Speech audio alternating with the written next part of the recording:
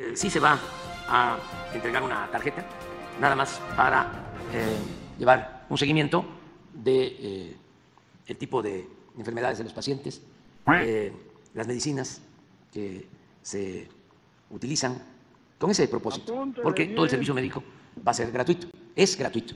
Y ya comenzó, ya en, en 15 estados de los 23, ya tenemos, por ejemplo, un abasto en promedio de 96% de todos los medicamentos. Pero no podemos decir lo mismo de los 23, todavía estamos firmando.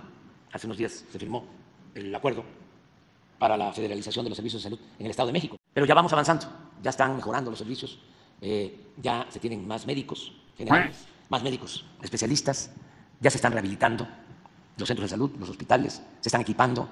Ya es un proceso. Queremos eh, hacer una evaluación y esperemos que ya para entonces se tenga un servicio de salud de primera, de los mejores del mundo, para el mes de marzo del año próximo. Entonces, ahora, sin necesidad de llevar nada de identificación, si se va a un centro de salud, a un hospital, se tiene que atender a cualquier persona eh, sin que tenga que pagar nada.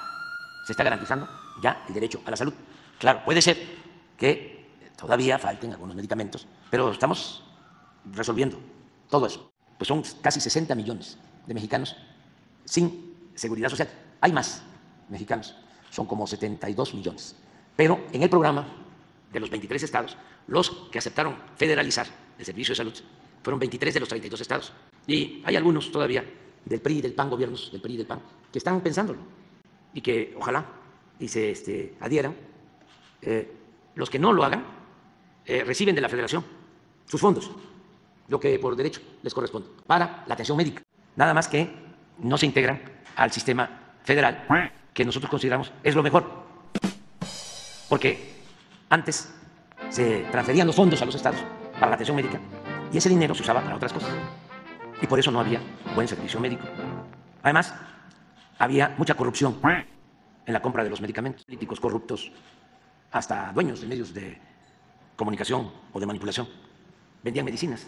Eh, no se podían comprar las medicinas en el extranjero. Tuvimos que llevar a cabo reformas legales para poder comprar la medicina en cualquier país del mundo y así tener abasto. Y hemos logrado ahorros de miles de millones de pesos. Por eso, con el mismo presupuesto de antes, ahora podemos comprar más medicamentos y garantizar que sean gratuitos para toda la población. Que eh, la salud no sea un privilegio, sino un derecho.